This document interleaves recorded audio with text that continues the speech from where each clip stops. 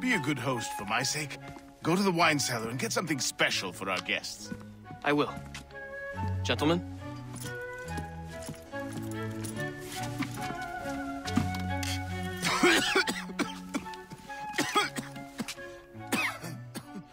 My brother is a bright spot in a troubled land.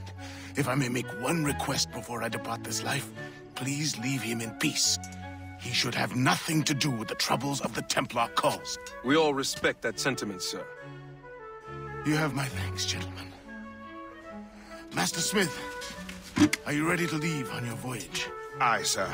I shall run with answers.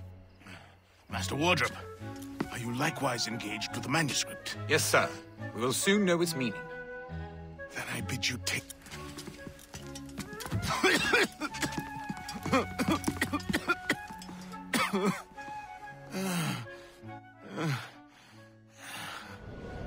Washington